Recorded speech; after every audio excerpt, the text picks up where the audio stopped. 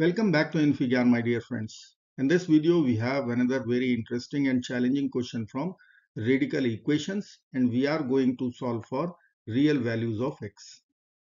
So let's get started. I will write equation equal to y. Now I can write y equal to cube root of 1001 minus x cube and y equal to square root of 101 minus x square. Now I will consider cubing of first equation and squaring of second equation. So I will write y cube will be equal to 1001 minus x cube and y square will be equal to 101 minus x square. After rearrangement of terms, I can write y cube plus x cube equal to 1001. This I will call equation number 1. And from second equation, x square plus y square equal to 101. Let us say equation 1 and equation 2. Now I will apply a cube plus b cube formula here. So I can write x plus y times x square plus y square minus xy equal to 1001. Now x square plus y square is 101. So x plus y times 101 minus xy equal to 1001 or x plus y equal to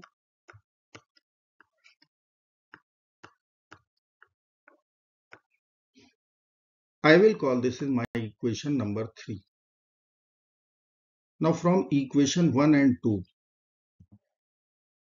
let me write here x cube plus y cube equal to 1001 and x square plus y square equal to 101.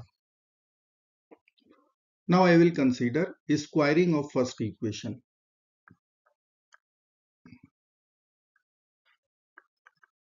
Squaring. So I will be getting x power 6 plus y power 6 plus 2x cube y cube equal to 1001 whole square and I will consider cubing of this equation.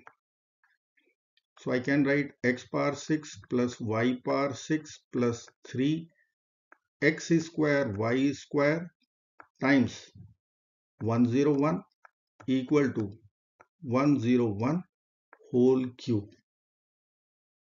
So from first equation x power 6 plus y power 6 this will be equal to 1001 whole square minus 2x cube y cube and from second equation I can write x power 6 plus y power 6 this will become 101 whole cube minus 303 x square y square.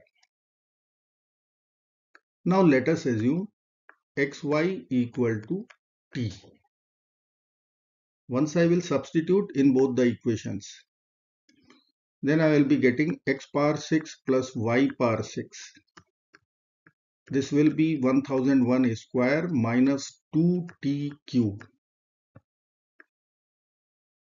And from second equation x power 6 plus y power 6 this will become 101 whole cube minus 303t square.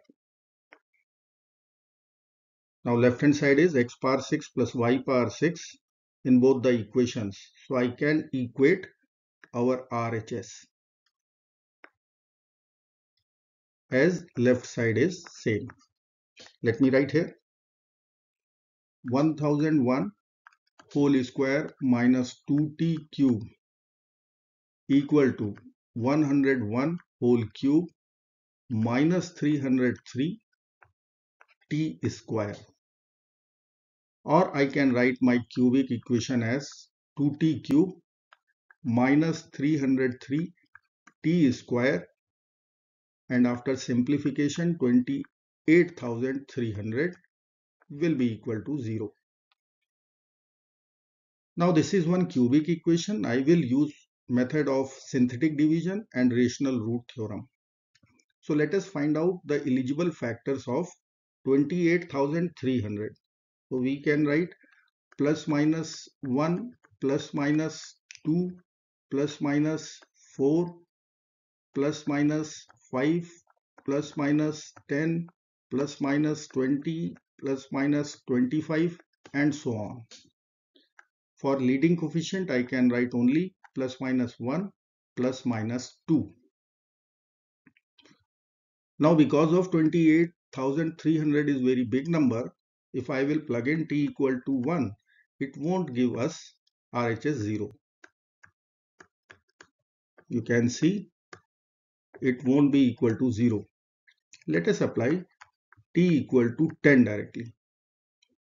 So 2 times 10 cube 2000 minus 303 times 100 30,300 plus 28,300.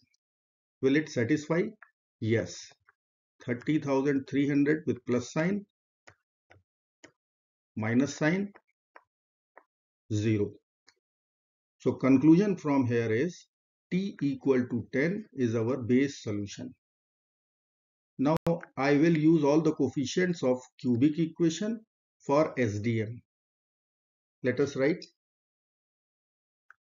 SDM base solution is T equal to 10.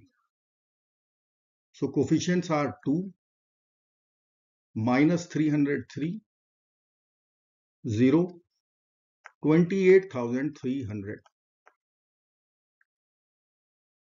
Now 2 would be as it is 2 times 10, 20.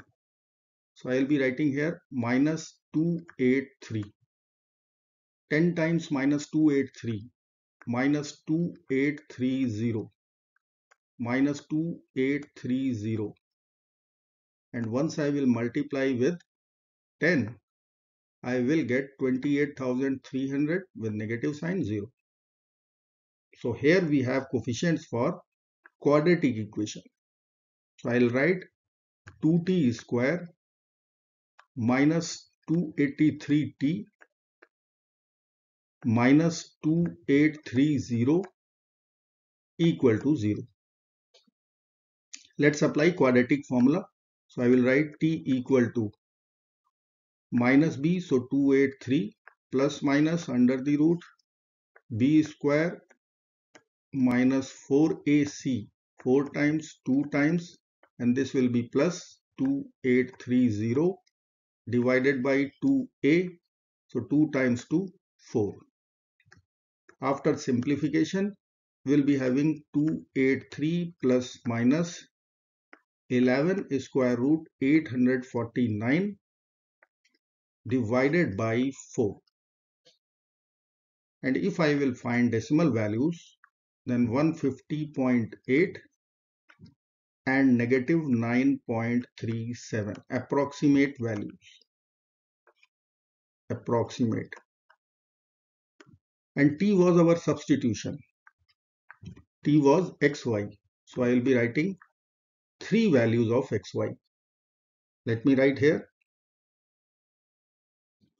So i will write xy which was t 10 xy equal to negative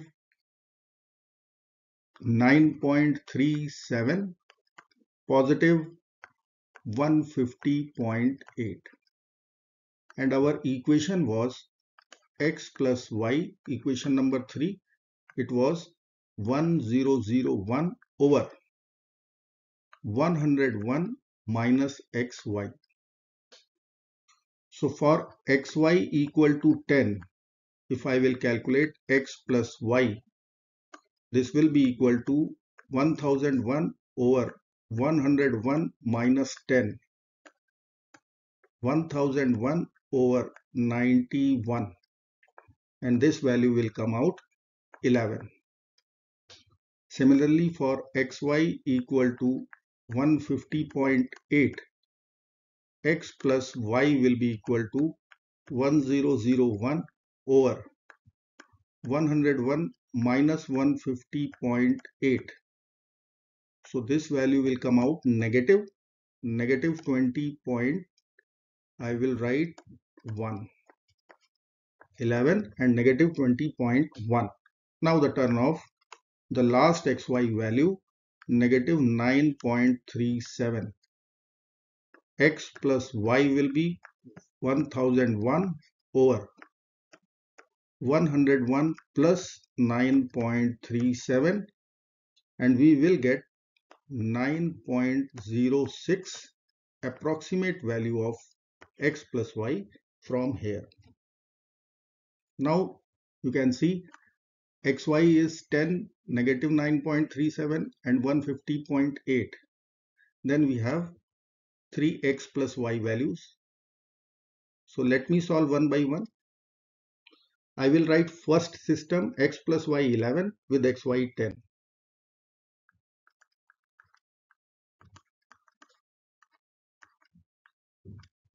With xy 10. So I can think about one quadratic equation whose roots are x and y. Then this is sum of roots, this is product of roots. Let me write equation in x itself. So x square minus sum of roots 11x plus product of roots 10 equal to 0. So from here I can write x square.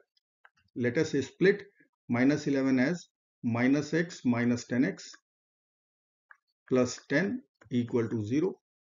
x is common x minus 1 negative 10 is common x minus 1 equal to 0 or we can write x minus 1 times x minus 10 equal to 0.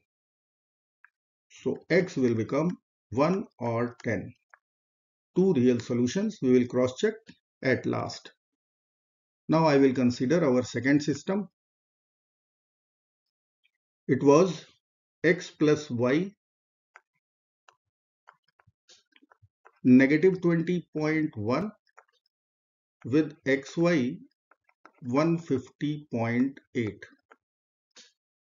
So I can write again one quadratic equation x square minus minus minus will become plus 20.1x plus 150.8 equal to 0. Now this is one quadratic equation. Let's check discriminant only.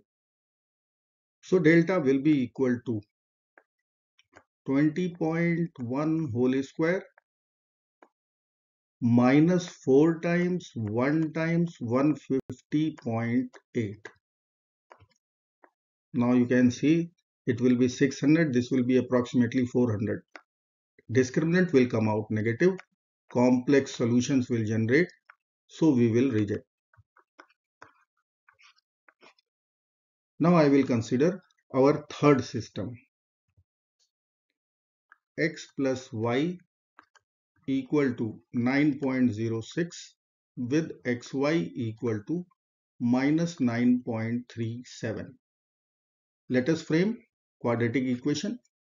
So I can write x square minus 9.06x plus product of roots but it is negative. So minus 9.37 equal to 0 now I will solve this quadratic equation and I will be getting x approximate value 9.998 and negative 0.937 or I can write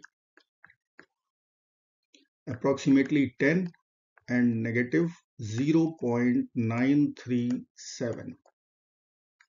So we can write our final answer for this radical challenge. X will be equal to 1 10 and negative 0.937. Let us verify. So I will check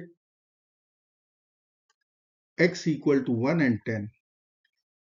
So LHS I will write cube root of 1001 minus 1 cube. So 1 equal to square root of 101 minus 1 square. So 1. So this will become cube root of 1000 equal to square root of 100 which we can write cube root of 10 cube it is square root of 10 square.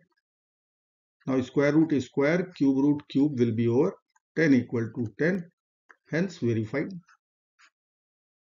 Now x equal to 10. LHS I will be writing cube root of 1001 minus 10 cube.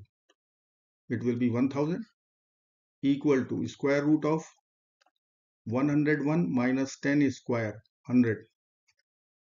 So this will become cube root of 1 equal to square root of 1.